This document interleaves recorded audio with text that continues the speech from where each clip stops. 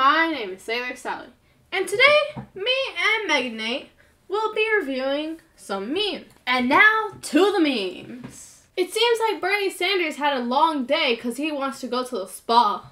This meme is very relatable to multiple people because everyone thought that 2020 was going to be the year to fly. But then 2020 came in and said, nope, we got COVID. This meme is true. If we're going to go to school, why not wear hazmat suits? It seems like Bernie Sanders is willing to drink coffee in the snow. It seems like Bernie Sanders got a better view of Hamilton. It seems like Dogecoin has taken the cake this year.